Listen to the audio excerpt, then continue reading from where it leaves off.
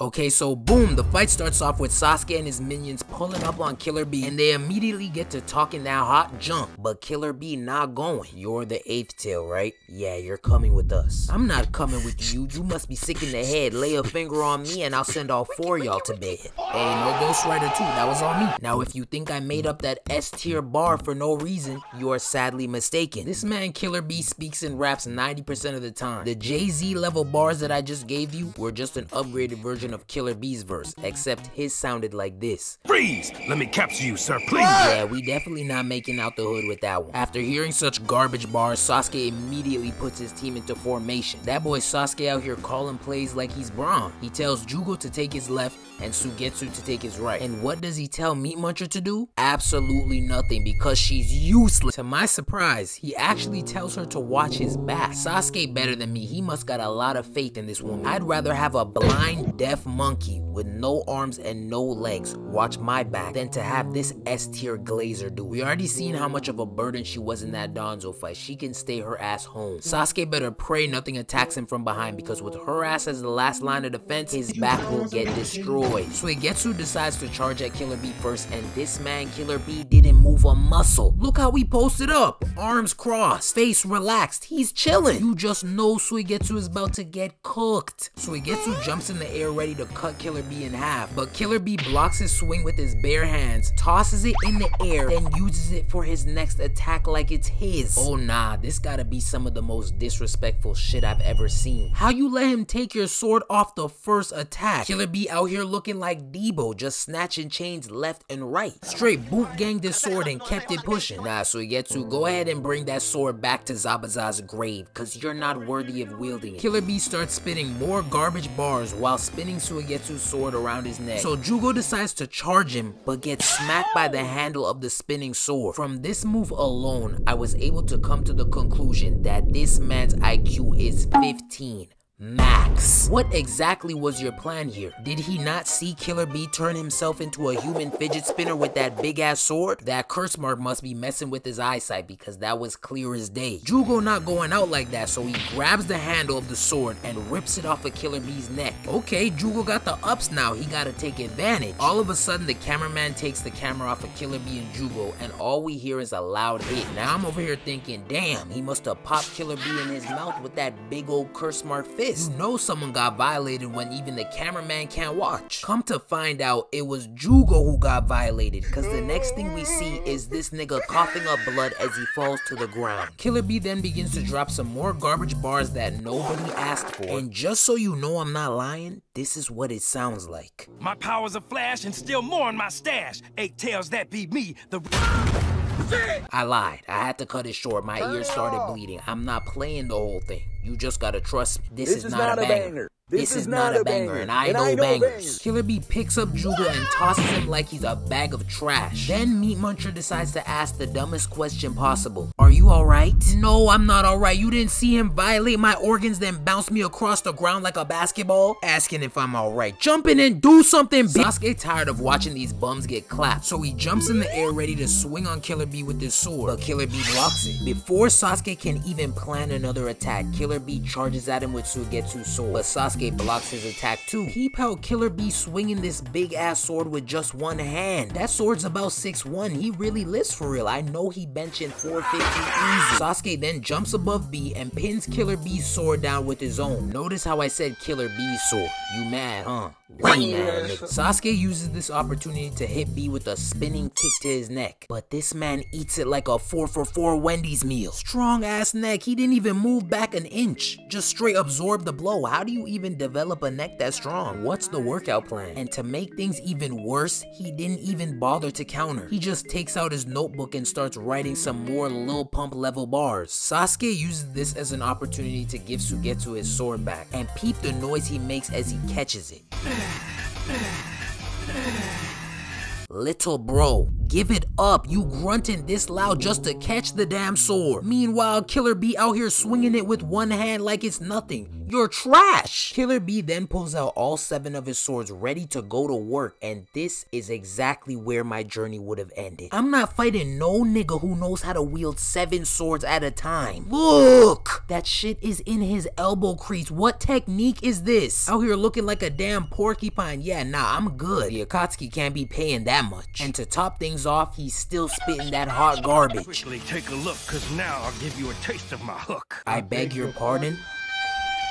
I beg your pardon. Listen, I don't know what he meant by that, but hey, look, I, nah, I'm not tasting no hook. You keep that junk to yourself. Bee makes the first move on Sasuke, and to be very honest, I can't even begin to describe the unorthodox moves this man is doing right now. He really looked like he breakdancing. Even in slow-mo, it's indescribable. All I know is he giving Sasuke that work. Sasuke's been on the defensive the whole time. After a little bit more breakdancing, B catches Sasuke lacking by hitting him with this leg sweep and launching him in the air with his two feet. He not letting Sasuke breathe though cause he continues to give him work while in the air, hitting Sasuke with this double slice sending him back to the ground. Before Sasuke can even look up, Killer Bee throws three swords at Sasuke but Sasuke weaves them all. Look how he flipping to recollect his swords. How did he even get that to stick to his leg? Does this nigga have on velcro pants? What is going on? Killer Bee then hits Sasuke with a mean backhand sword swing but Sasuke blocks it. He starts overwhelming Sasuke with all seven of his swords and finally starts slicing him up like a piece of meat at the butcher's. Killer Bee launches himself in the air while simultaneously distracting Sasuke with his sword. He tries to stomp Sasuke's head in, but he notices his big ass foot coming from above just in time to get out the way. Look at the fear in this man's face, looking like he just saw a ghost. Just the face that I imagine every single member of my O-line had every play. Cause them boys couldn't block for shit, scary ass. Yeah, I remember I was fighting for my life out there every play. I was really a one-man army out there. If I catch any of you outside, it's on sight. No talking, straight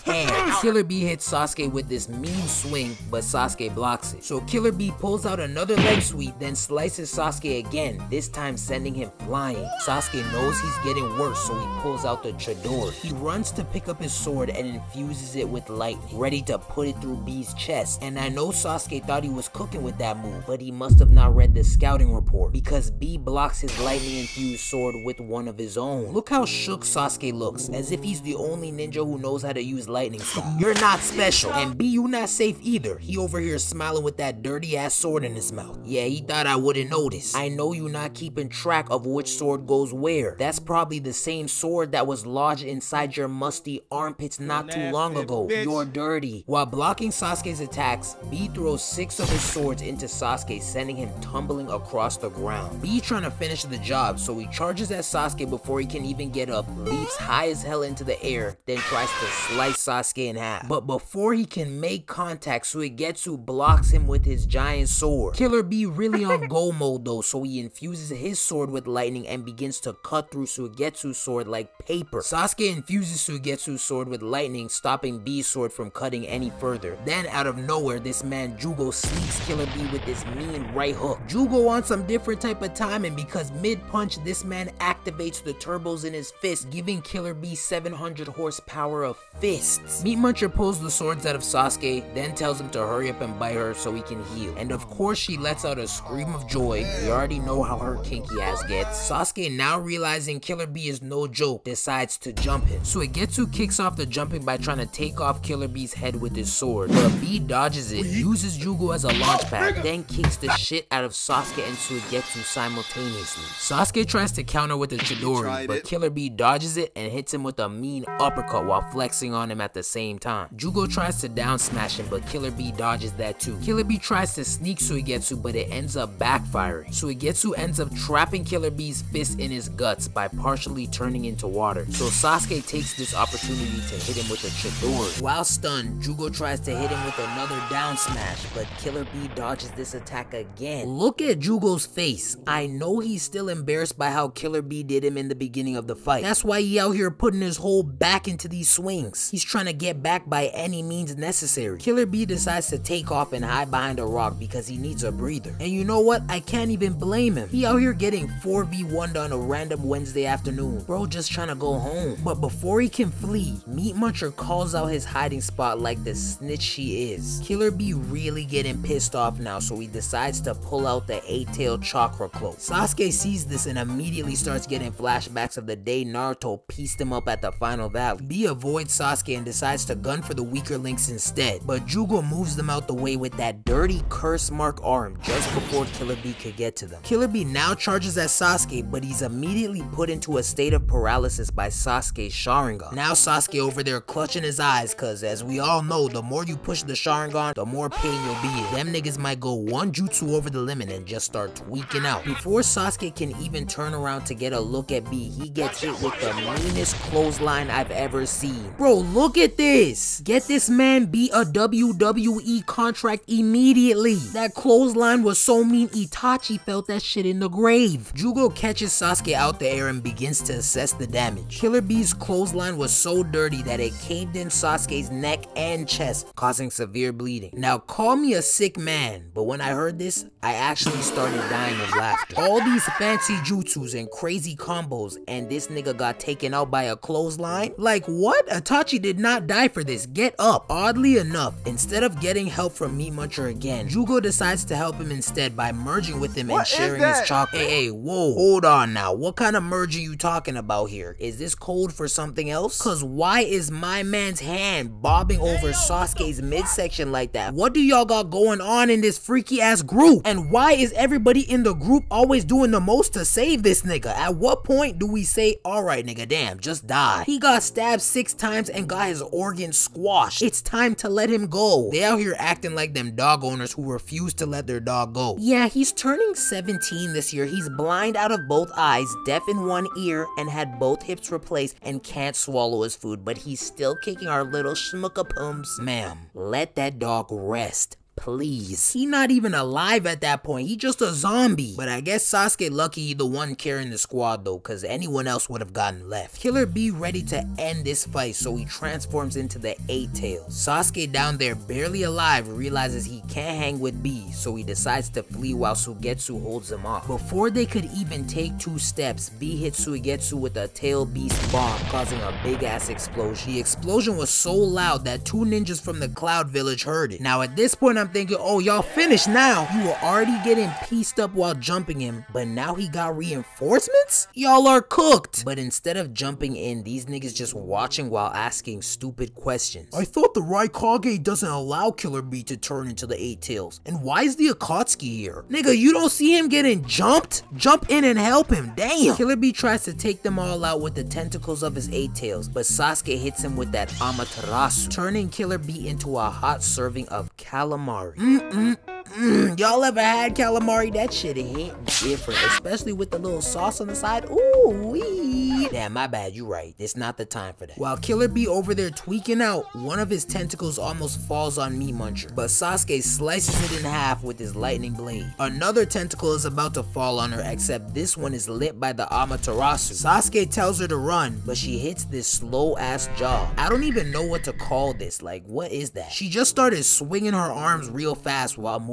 slow as a snail. Like, you're not fooling anybody. We see that you're barely moving. The tentacle ends up falling on her head, so she gets lit by the black flames. But Sasuke somehow gets rid of the flames with his Sharingan. After realizing he can now reverse the Amaterasu, he takes the flames off of Killer B, leaving him barely alive, so they decide to capture. Now, I was already mad that my nigga B was not given the fate of a 1v1, but you wanna know what pissed me off even more? Remember those two ninjas that heard the explosion a couple minutes ago? They in the same exact spot watching with the telescope. You gotta be some sorry ninjas to just watch one of your own get jumped, especially when the whole squad is already one shot. They up there talking about some wait till the Raikage finds out what happened to his younger brother. If I'm the Raikage and you come to me with this information, my first thought is gonna be, so what did y'all do? You just watched them get jumped? I'd snatch those cloud ninja headbands off their heads so fast. You better pick a new career. Maybe an astronomer would suit you since you just wanna sit there and watch shit happen through a telescope all day. Get your lame ass on. But anyway, decent fight. fight, Sasuke got saved by plot armor